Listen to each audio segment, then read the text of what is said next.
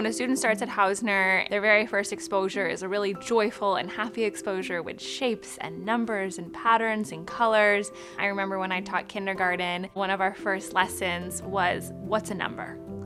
Why does a number matter? Why do we need these in the world? How do they help us? Now that we're in second grade, we're really able to use different numbers to be multiplying and dividing and making sure we're reading problems and understanding what they mean and doing multi step word problems and knowing not only how to solve them but why solving them is going to help us now and also in the future. It's a great feeling when you are teaching a math class and the whole class is smiling and their hands are shooting into the air and they are engaged and participatory. We want them to have that feeling of success with math. So that way, when they're going to upper school, they're able to use that strong foundation and manipulate the numbers in different ways and handle and tackle those more challenging problems.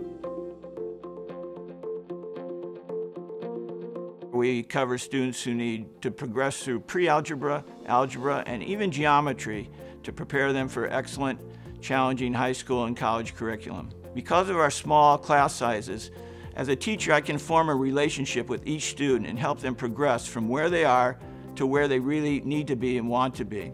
As we teach, and as we encounter the student for the first time, we see where they are, where are their strengths, where are their weaknesses, and we can have the flexibility to place them in a position to be successful. We have two major kind of lanes through our curriculum. One, they will be ready for calculus as 12th graders, which is a wonderful pre-college curriculum. And the second is even more accelerated. They will be ready for calculus at 11th grade. But it's not a race. We always emphasize to parents, to the students, that they're not competing with each other. Each one is an individual, each one has challenges, and each one we can support along the way.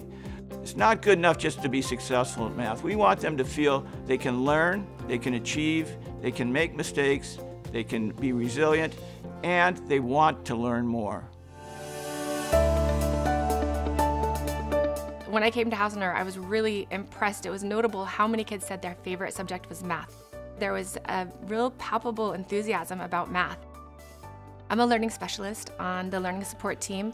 Essentially, our goal is to meet every kid where they're at. Whatever their learning profile is, we try to accommodate their needs and teach them in the way that works best for them. Some kids need more physical stimulation or multimodality or hands-on experiences. Some kids need more visual, some kids need more interactive.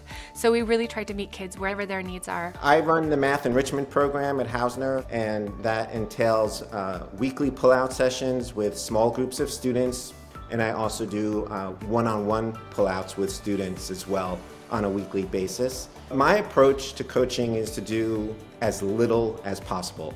And uh, it's not because I'm mean, it's because the more involved the students are in the process, the more they'll get out of it. When a student asks me a question, my first response is, that's a great question, what do you think? Always put it back to them, always keep them in the driver's seat as much as possible, and they'll just get a lot more out of the experience. My number one goal is really simple. I want students to think of math as fun. I want them to think of math as interesting, as challenging. Sometimes it's mysterious and ultimately beautiful.